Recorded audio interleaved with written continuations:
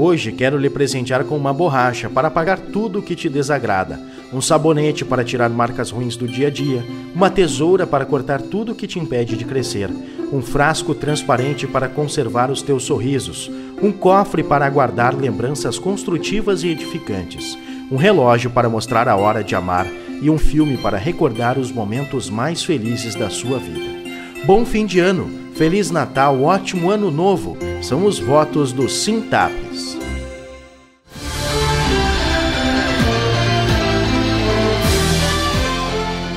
Desde quinta-feira, 16 de dezembro, a Delegacia de Polícia de Tapes conta com o reforço de oito policiais civis.